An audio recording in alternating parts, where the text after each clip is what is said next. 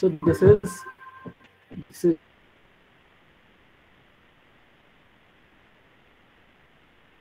of your own as well. Right.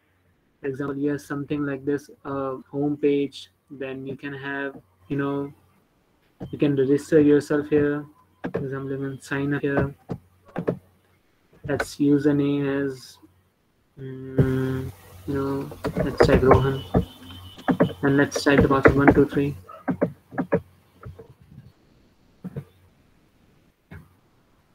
What we have done here, we have just signed up.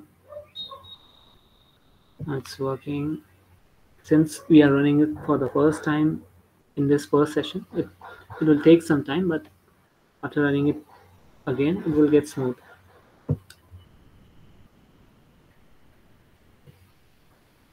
Yeah.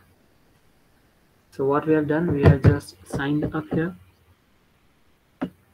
Now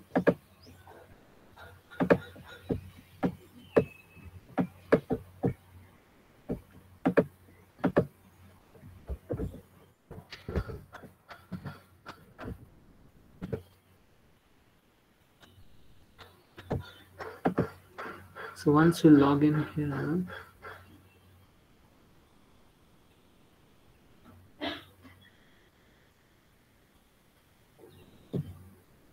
you can see the name we had typed, we it got displayed here, right? And we can move to other pages like academic record, achievements, show certificates, and profile, and many more things. I hope there's nothing in the profile.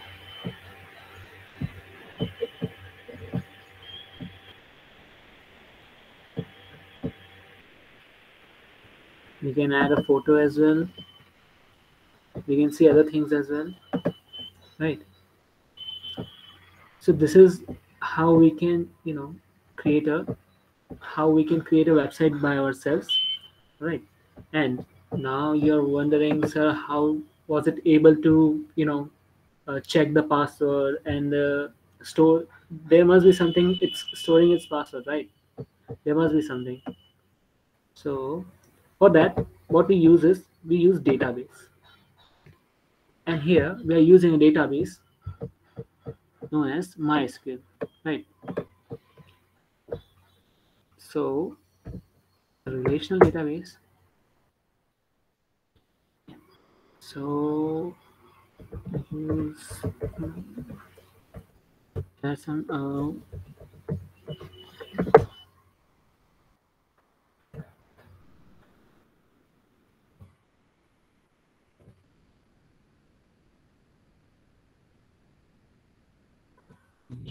So when we are clicking at sign up, let's see, select in command from student. Name command. Let me see what I,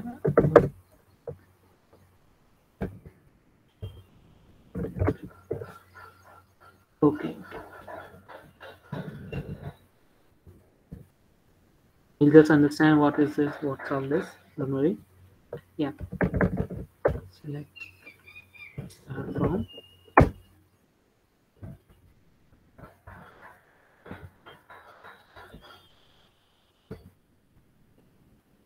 You can see that we had just entered Rohan. As you can see, we have Rohan Rohan here, and the password that we had entered is one two three. That means all the data got stored here and what we did we just fetched it.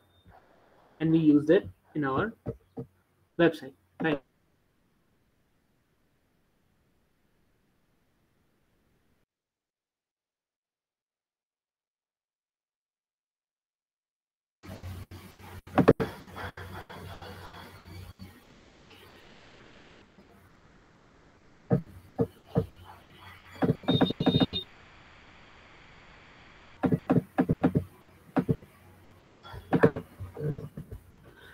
I want you to install a few softwares.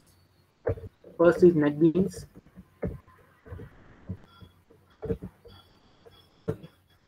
Second is MySQL. Right. So these two are the softwares that we need to install to create a website like this. Right. Otherwise, I guess we have all the required things. You all have Java installed in your laptops or computers, whatever you're using, right? So that would mean, well, Java 8 is preferred here. Java 8 is preferred here, right? So these three things will need at most to create a software, right? And we'll be creating our software, our web application in JSP. What is JSP?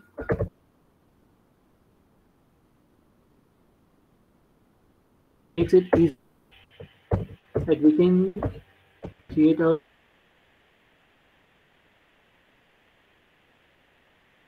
and it's not that you know it's not that easy and it's really hard to learn that in less time okay so we'll be using just JSP, which is part of Java only, like specific part for Java subject pages. Yeah.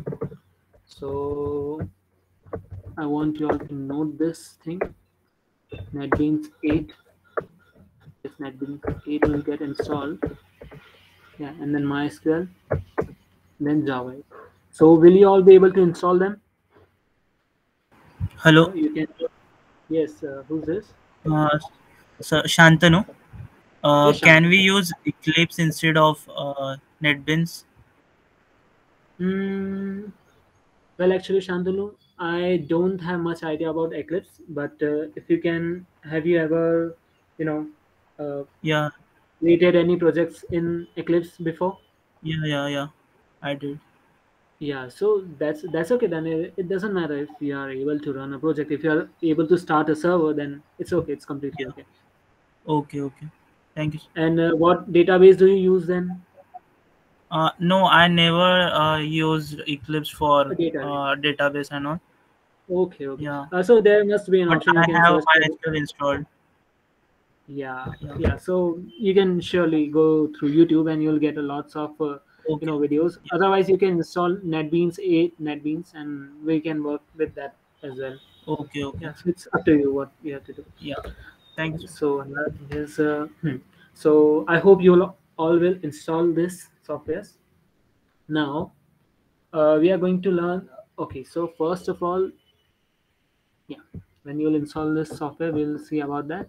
Now what we need is we need to learn something like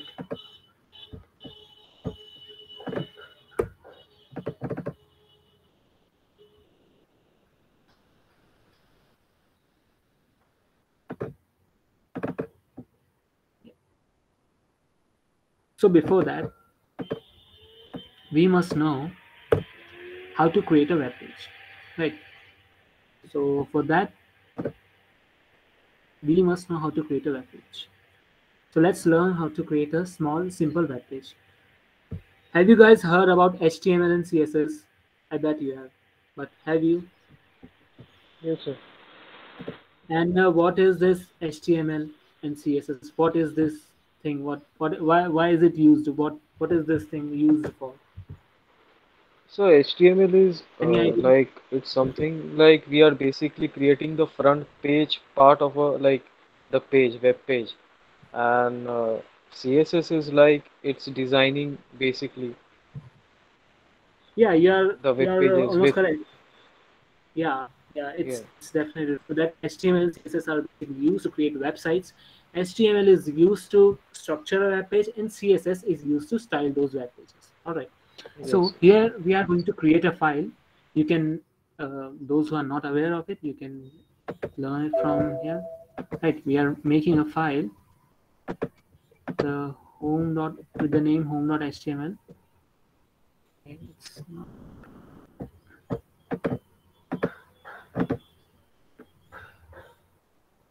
So let's open with it with Notepad++ plus as well. Now, the simple syntax. The simple syntax. See, we are not going to learn here HTML and CSS in, in very deep, but we are going to learn it in uh, up to that level that we can make a simple project, right? So, the basic syntax of creating in HTML pages something like this, right? Head body, and this body. Just a second.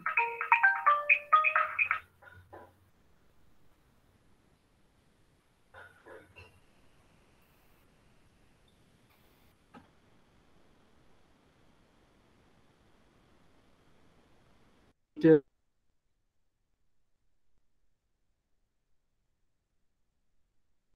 um, tags tags this is all tags this is html tag so and this is head tag this is body tag. What the word i'm using here is tag. Okay. So this is a basic you know structure of a, how to write an html code right? So first thing that we are going to do here is now html has many elements right? Many elements. And uh, the basic one here we are going to study what is so first that we are going to study about is a heading tag right? What is this? A heading tag. So um, in html most of the tags are like this one this like this. Like we have to open a tag then we have to close that tag right? And we can write something in that tag. Hello world for example. We write this in this syntax so we have saved a file here right? Now if we click it so it must yeah. So it will just open like any other web page. See? It's just like an it works like a web page. Right you can see this. What that h1 tag was that that h1 tag was for a heading tag. Right so we have many tags here. H1 then we have h2 then we have h3 h4 h5 and h6 always remember the tag that we are using to open to write anything must close that thing as well. All right so because in html6s you won't see any error because you don't have to compile anything. You won't see any error. But if you write something wrong then there will be problem so when we refresh this page we can see. Can you all see that how the, those h1 h2 h3 h4 tags work here right? We got headings but in a smaller size. Okay so this is how h1 tag works.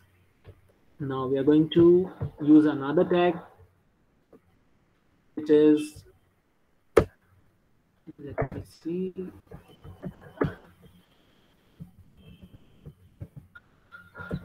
so what is this h1 tag for? Tell me.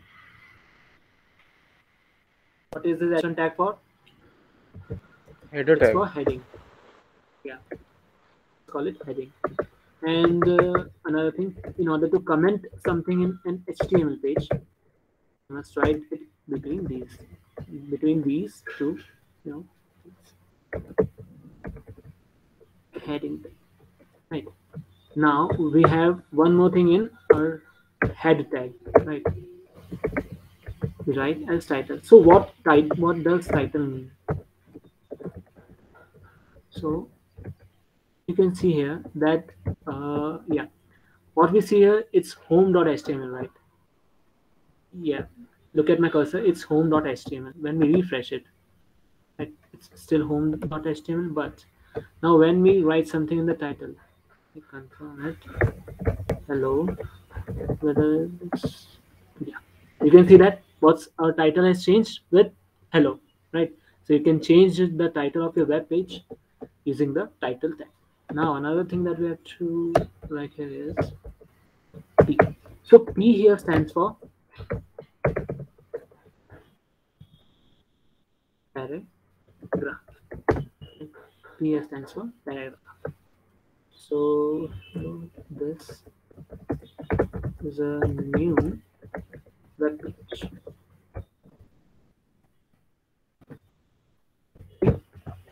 it's just a basic uh, or html page. Yeah. Now another thing that we are going to use is we are going to just look at some basic tags in HTML, CSS. So now the tag that we are using is center.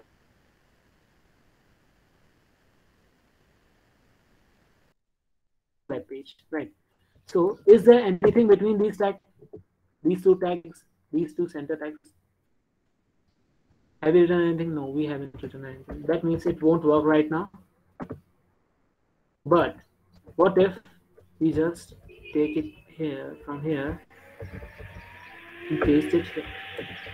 Now, what should be the output? What we have done is we have done this. So this. this web page is will be at the center, I guess. Yeah. So whatever we have written heading and paragraph, it will get displayed in the center of our web page. Right? Is that understood till here? Any doubts? I don't there should be doubt. It's I guess it's easy to understand. You just have to type it by yourself and you'll get handy with it. Right. Now another thing, another tags that we are going to use here is, yeah. Mm, for example, let's use a list or let's use a break tag. If we write another paragraph and we will create a website.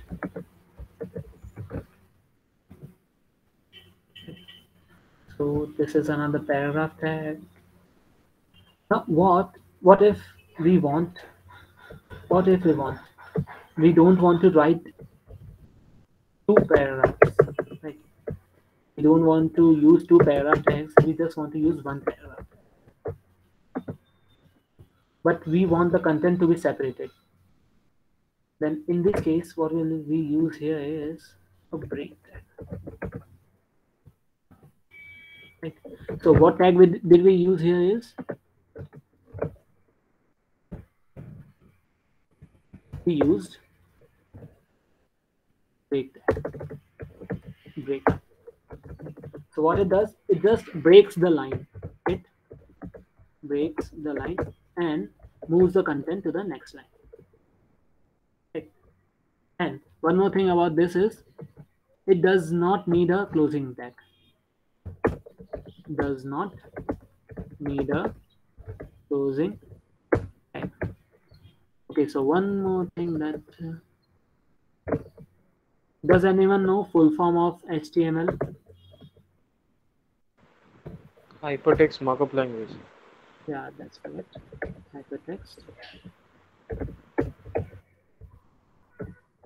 Markup language. This was it yeah so we just discussed about three tag three to four tags here. Center h1 p then break and up and then break now another thing that we are going to use here is another tag is yeah. So let's take a list. Tag so it's ul yeah. Now what does ul stand for stands for unordered list. Ordered. Unordered list.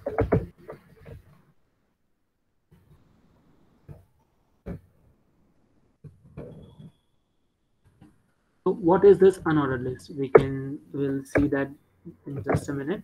And uh, for example we need to create a list. Right we need to create a list. And for a list to be created what we need? We need list items as well. So these tags are used to create list items.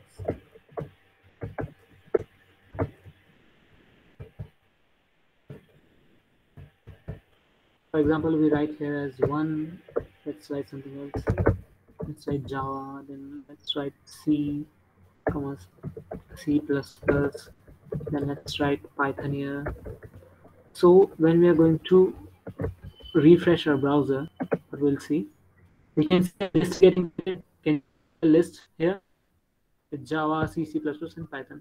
And here this list is unordered. That means it's not in an order. You can see just some black dots here to define a list. Now another thing that we have ordered list.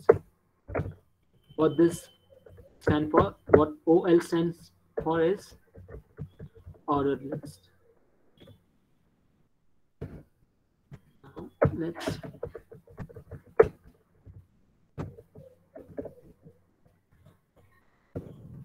copy and paste this thing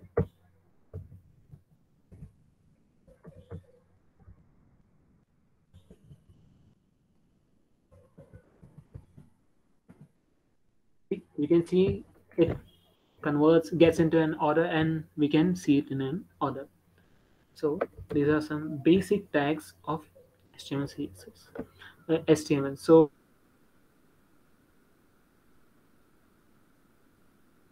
so is it is everything clear up to now? Is there any problem in this thing? Any doubts? No, sir.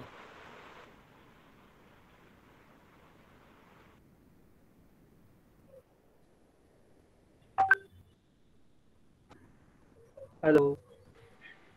No, if you have any doubt please let me know about anything here. Okay all right. Now we are going to learn another thing. So we have another tag which is let's okay let's leave everything. Let's move this center center tag. This is the base of our html and uh, we have this thing called hr now what is it? We'll continue it soon. You can see a horizontal row here horizontal line here. This line Yes, here. sir. how is it is due to it is due to this hr tag right. Now we are trying to create a simple html table. Okay. We're trying to create a html table so we have a table tag and in a table what do we need? We need few things like mm, yeah table row. We need a table row. And the table row we need table data. Let's make it a little clearer here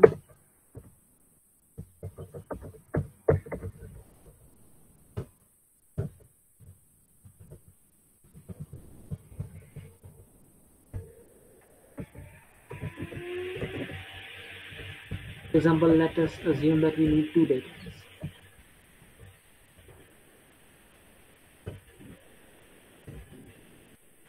For example, first our data is AB. For example, let's write it as a name. Let's write ABC and I'll here. Then DEF four five six. HI then seven. So when we run this, you can see a small table with rows and columns getting formed here, right? Now, if you want to decorate our table a little, so we'll just use uh, just type border. Let's so what is this one here? It will be 1px. Uh, okay. So in our HTML and CSS, so what we have here, uh, see, we have units everywhere, right? So in HTML CSS, our unit is px. px stands for pixel, right? With equals to, you write it or you write it not, it doesn't matter, right? You want to specify the unit, you can. You don't, you don't. So when this happens,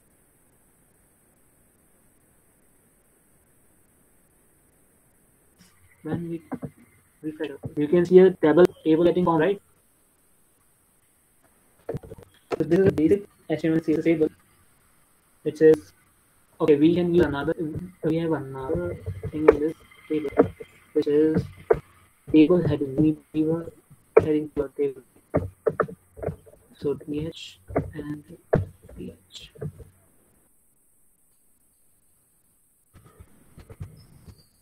Name and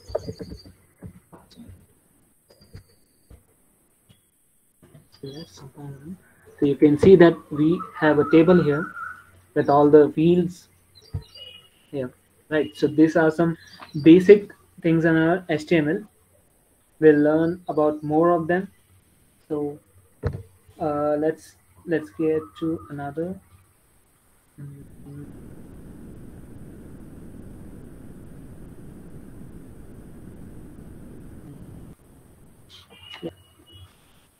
So for example, let's take another tag. It's clear to hear, right? Any doubts, anyone? No doubts? No, sir. Okay then. Yeah. So we have another thing. Mm.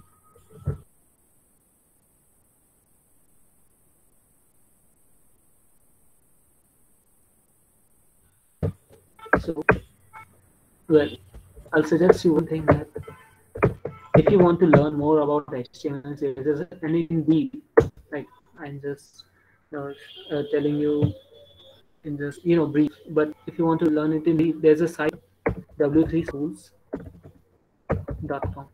Right. Let's let's go there only. W3 It's a good site. You can learn about HTML and CSS there. References, exercise, learn HTML. So if you want to learn more about HTML, it has a whole, it's a lot to learn from here. You can learn CSS and other things as well. Yeah. But here we are going to learn just few things that are necessary here for our project. Okay. So, was it W3 school or W3 schools? It was schools. You look at it. So another tag that we are going to learn here is um, we have learned about this one, this one. Yeah. So we have another tag which is known as input. Input tag. So input tag is just like br and hr tag. Like it does not need a closing tag. It does not need a closing tag. And now we can specify what type of input do we want here. If we write text here, we write text here. Mm, what we can have here, you can see a text field here. Right? We write something in it. Okay. Now another thing is what if we write password here still text field at this time? When we type anything it gets stored as a password here what if we write input type equals button? We can see a button here right? But we need a value in this button. So we type here click. You can see a button here right so we'll be learning some uh, yeah we're learning some apps to we can even make a calculator using this html and css online uh, web page with calculator. Uh, if you want that as a project please let me know. So we'll learn that as a project as well. Otherwise we'll continue with that our website a simple website. Okay. So another thing that we have here is discussed about button yeah. So another thing that we are going to learn here is what we'll be needing in our website is mm, we're done with this this and yeah we have another thing which is a checkbox. What is a checkbox? We'll just see here input type equals to check box. Right, the checkbox here. And uh,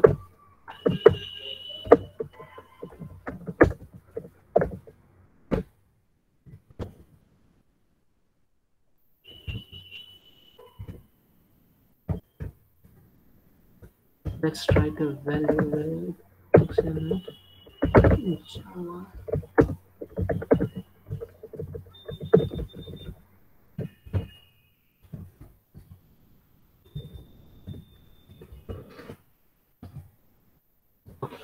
work here.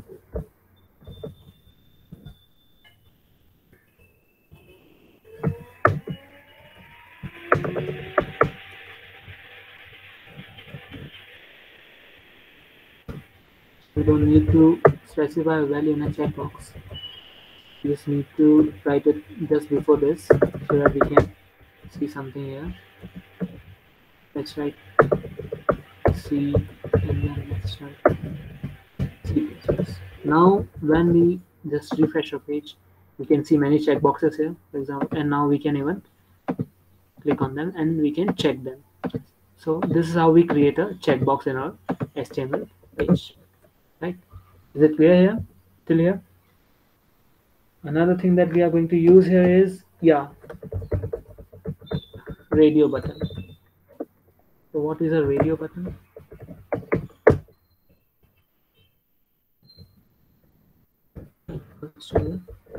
Radio. And the name equals to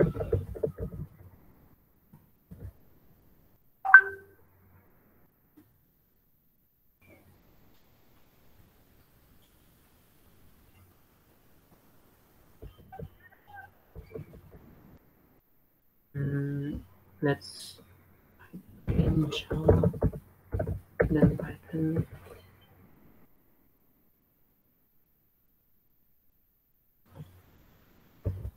Okay, C comma C++. So, and why have we given name all all of them a same name? We'll discuss that in a moment. Right, but we have created radio buttons here. So let us select these checkboxes and we can see we have radio buttons here. Now what if I want to align them in a line? You can use break tag right? so that just it's in different lines, right? Or we can put them inside tables as well. So it will get arranged even properly. So now, okay, so what if we give them different names here? Then we can check this one too. We can check all of them, right? Okay, we didn't uh, refresh it, right? Now, when they have different names, then what happens? All of them get selected, but we won't don't want that, right? We want all of one of them to get selected. So we give them same name so that only one of them can get selected out of three. So this is how radio button works. Right. Now another thing that we are going to use here is see these all these tools are used in your web website so you can learn as many as tools as you want. You can make your site as much as creative if you want. Now what is this? What we are using here is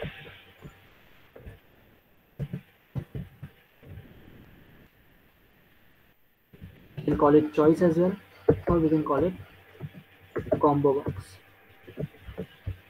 okay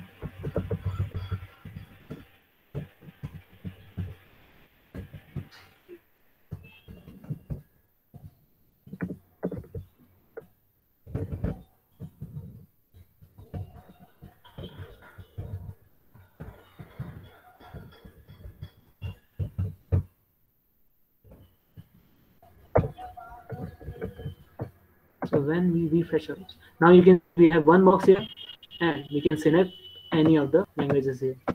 Right. So this is how our combo box works. Right? Is it understood till here? Any doubts? Okay. Now, another thing that we have here is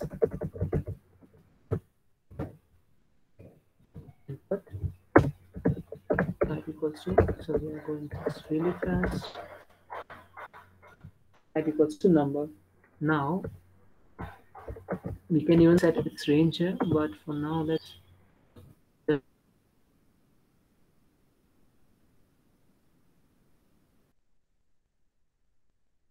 right using the number tag here another tag that we have here is input tag only another type of input tag we have here is date. And you know use any date here. Let's select this one. So we can have a date here as well. So you all can see all these things here. Now there will be tasks for you. Now what the task will be? You have to make a login form. Login form or just uh, yeah you can make a login form with the input fields like you want a password username then date of birth then you want uh, what do you want here is uh, you can keep options like you don't need to make a response you just center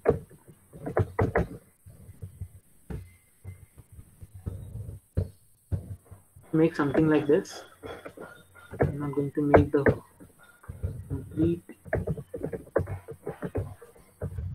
thing here.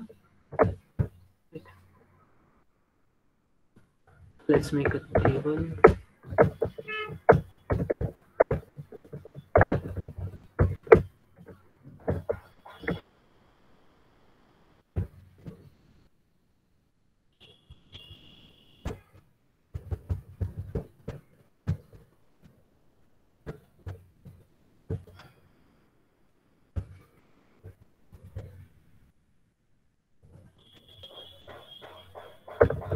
like for example you have written your name then what you can write here is input type equals to text right? So when we just refresh our browser we can see a name and the text video okay you one more thing that you can use here is cell padding. You want every cell padding to be like 20 we can see a little space in between them. Now another thing that we are going to write here is um, name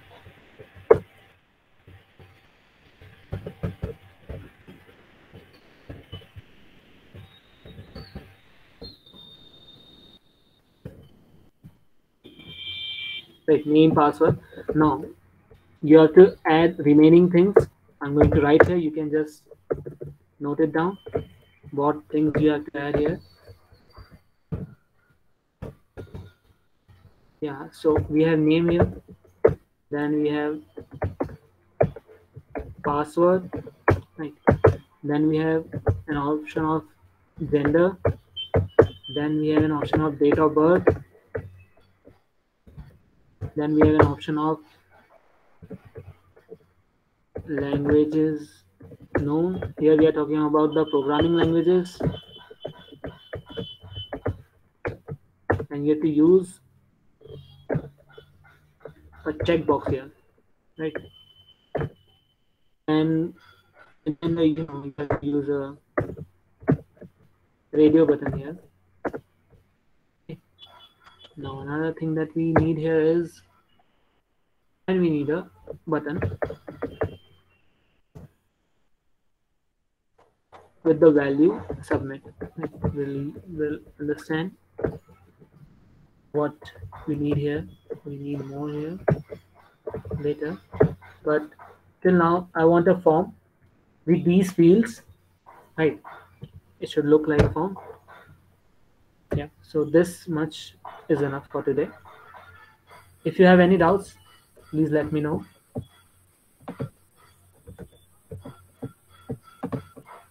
Any doubts? Or anything that you couldn't understand today? Yes, sir. And hope that you'll all be present every day because you miss even a single day you may not be able to make a project because